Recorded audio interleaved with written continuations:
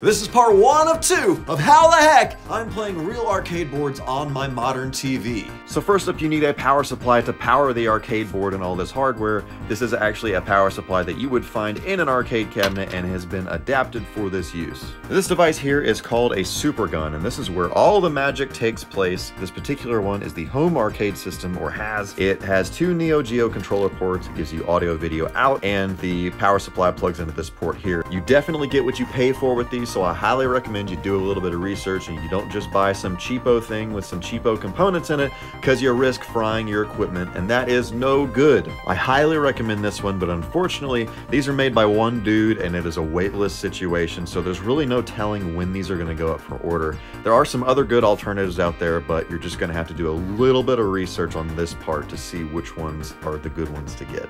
All right, part two is coming up soon. I'll see you then.